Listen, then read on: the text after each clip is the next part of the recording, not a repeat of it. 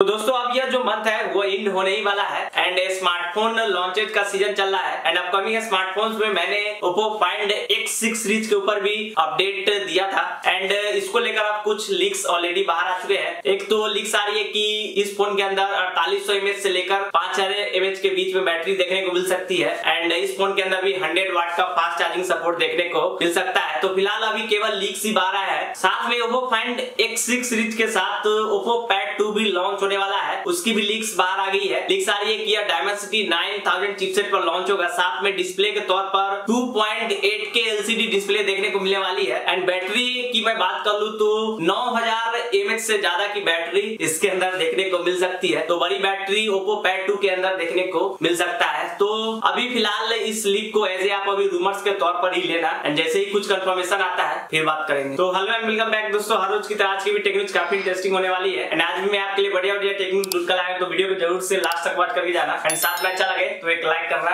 मत भूलना। तो सीधा चलते हैं नेक्स्ट टेक की अगली न्यूज़ में बात कर लूँ तो वन प्लस की तरफ़ से निकल के आ रही है। वन प्लस इलेवन बहुत जल्दी इंडिया में लॉन्च तो होने ही वाला है एंड उसके जो भी कलर वेरियंट थे ऑलरेडी मैं आपको पिछले टेक्निक में बता चुका हूँ। साथ में मैंने आपको ये बताया था कि वन प्लस इलेवन के साथ वन प्लस का टी यानी one plus buds pro two भी लॉन्च होगा एंड उसका भी कलर वेरियंट ऑलरेडी बाहर आ चुका है। यह दो कलर वेरियंट पे लॉन्च होने वाला है ब्लैक एंड ग्रीन जैसा की वन प्लस इलेवन का जो कलर है वही सेम कलर का टीडब्ल्यूएस भी होने वाला है। तो क्वाइट इंटरेस्टिंग है। एंड देखना ये रहेगा कि किस प्राइस में यह बर्ड्स प्रो टू लॉन्च होता है। अगली में बात कर लू तो वो आईक्यू की तरफ़ से निकल के आ रही है। आईक्यू नियो सेवन पर तो स्पॉट किया ही गया है। साथ में ब्लूटूथ एसआईजी सर्टिफिकेशन पर भी यह देखने को मिला है। तो बहुत जल्दी आईक्यू इलेवन के साथ आईक्यू नियो सेवन भी इंडिया में लॉन्च होगा। एंड uh, मैंने आपको बोला है कि लगभग सारे स्मार्टफ़ोन कंपनी थोड़े थोड़े से स्पेसिफिकेशन को चेंज कर एक नया स्मार्टफ़ोन को लॉन्च करते रहते हैं। तो आईक्यू नियो सेवन का एक रेसिंग एडिशन भी 29 दिसंबर को चाइना में लॉन्च होने वाला है। जिसके अंदर पाँच हज़ार की बैटरी एंड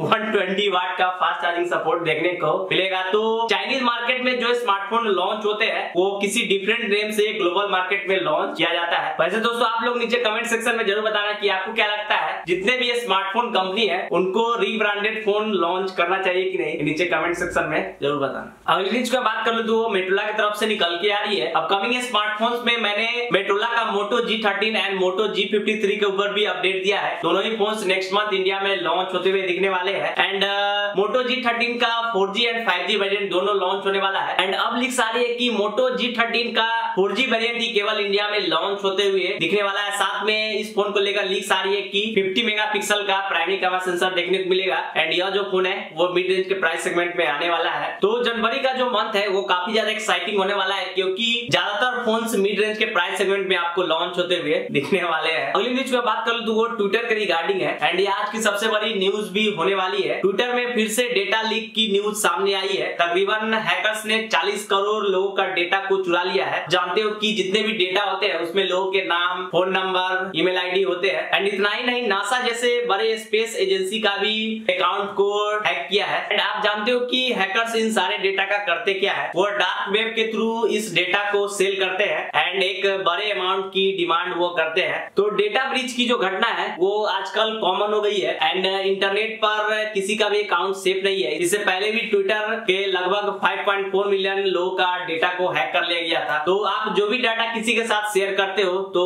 उसे आप सोच समझ कर ही शेयर करो। एंड साथ में अपना प्राइवेसी का भी ध्यान रखा करो। तो फाइनली दोस्तों, आज का हमारा टेक न्यूज़ यही पर समाप्त होता है। एंड आज की जितनी भी टेक न्यूज़ थी, उसमें से कौन सा न्यूज़ आपको सबसे ज़्यादा पसंद आया? नीचे कमेंट सेक्शन में ज़रूर बताना, साथ में अच्छा लगे। तो एक लाइक करना मत भूलना। एंड रेगुलर बोल रहा हूँ की इस चैनल का जो रीच है वो काफ़ी ज़्यादा कम है। तो जो लोग भी रेगुलर वे में टेक न्यूज़ देखते हो तो ज़रूर से लाइक कर दिया करो, ताकि वीडियो का जो रीच है, वो ज़्यादा ज़्यादा ऑडियंस के पास पहुँच पाएगा। एंड साथ में मोस्ट इंपोर्टेंट नीचे अपना फीडबैक ज़रूर देना की आज की टेक न्यूज़ आपको कैसी लगी, ठीक है? साथ में जो लोग भी नए हो चैनल को ज़रूर से सब्सक्राइब कर लेना एंड बिल नोटिफिकेशन को भी ऑन कर लेना, ताकि जैसे ही मैं वीडियो डालू, उसका नोटिफिकेशन आपको जल्द से जल्द मिल जाए। एंड आप लोग मुझे इंस्टाग्राम ट्विटर फेसबुक पर ही फॉलो कर सकते हो। उन सबका लिंक मैं नीचे डिस्क्रिप्शन में दे दे रहा हूँ। तो इस टेक न्यूज़ में इतना ही, मिलते हैं फिर नेक्स्ट एक दिन में तब तक ले सेफ़ एंड बाय बाय